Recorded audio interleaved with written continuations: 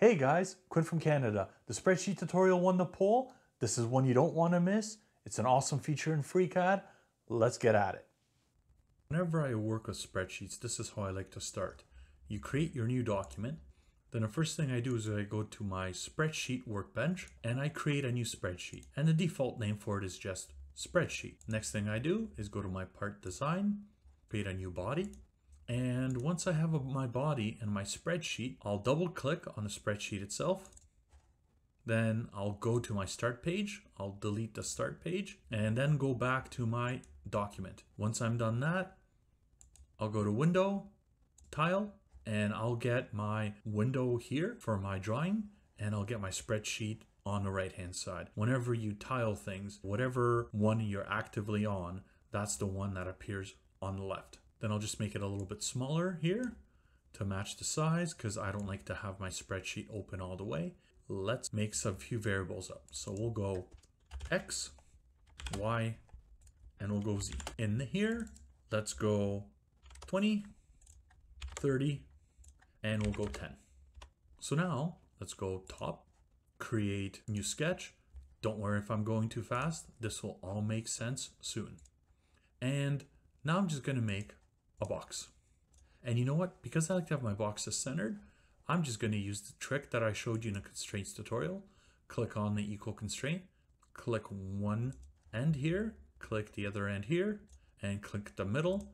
And look at that, we are all centered up. So now let's give it an X coordinate right here. In order to use this coordinate here in the spreadsheet, what you want to do is click the function button right here. Now type spreadsheet. And it's good because it's going to predictively guess what you're doing. So click spreadsheet right there. And our X coordinate is located at B1.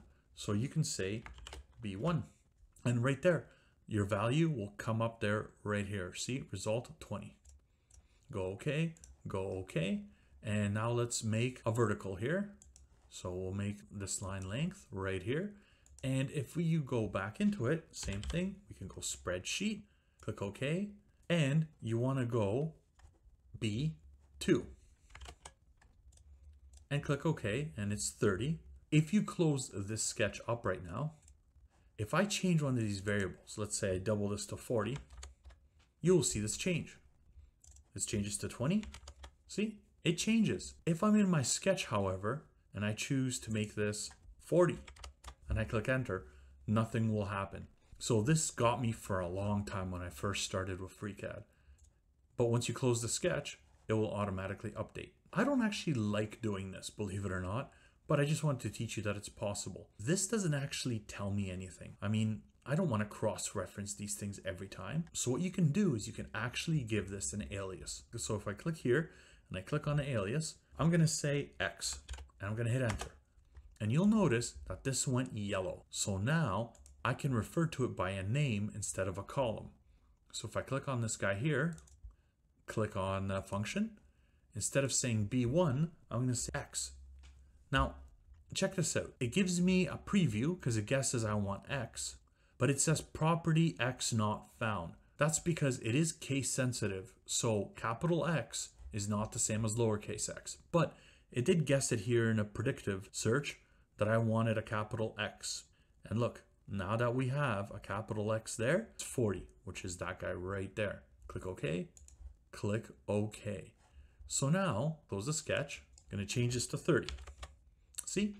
And that works. So whether you wanna do it by alias or whether you wanna do it by the column number, it should always work. Now, if I click here and I insert a row, it will shift all my dimensions down. So this used to be B2, but now if I go back into my sketch and I select this guy, go here, it will be changed to B3. If I give this guy an alias after the fact, change it to Y, hit enter, change this one to Z, give enter, it will still work because it is still tied to B3. So it doesn't matter whether the alias exists or not. So since we've given it a Z dimension, Let's actually give it a Z. If I click extrude, I will see my length, and on my length dimension, I do see a formula. Clicking on a formula, I could say spreadsheet, click here, dot, and I can either use capital Z or I can say B4. I prefer the aliases whenever possible. And now just gonna click OK and look at that. Just like with the 2D view, if I change the size of this, I could see it update right away. So let's say that this piece is a lid. So we'll make this really small, like let's say five millimeters. And in here, I want a screw hole in a center. Well, I'm just gonna create an object called a screw hole. And I'm just gonna copy it here, add it there, call it a screw hole, hit enter. I want an offset. So I'm gonna say offset.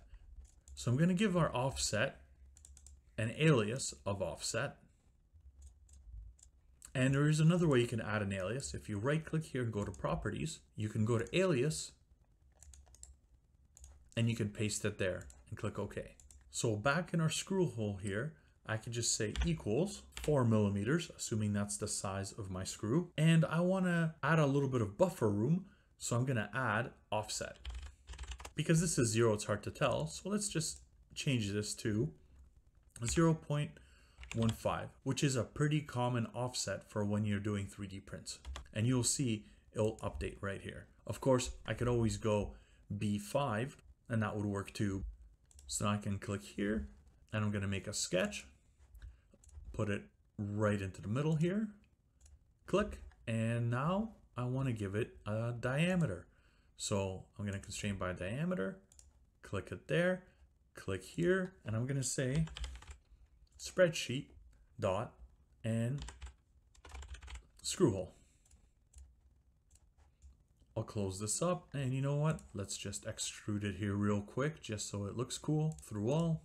And there's my design. So I've printed this file, it works, and you know what? I give it to you and your printer, well, let's just say maybe it over extrudes, maybe it under extrudes. So the hole's either too big or too small. I could just tell you, open up the spreadsheet and you know what? Change your offset. So let's say it was a little too tight. I'll just change it to 0.25 and right away this hole increased in size. So now you don't have to know how to model, but you can still effectively change what I've provided for you. It's like universal compatibility. It is pretty cool. What did you think of that tutorial? There's still more to cover, so leave me a comment below if you want to see more on spreadsheets. At the same time, let me know if you're going to use the feature. I think it's a good one, but you know, I might just be a Canadian weirdo. Anyways, I got a really good drink on the go here, guys. I'm going to enjoy the rest of this while I watch The Witcher, but not before I ask you to Scotchscribe and, of course, drink to your good health. Na zdrowie.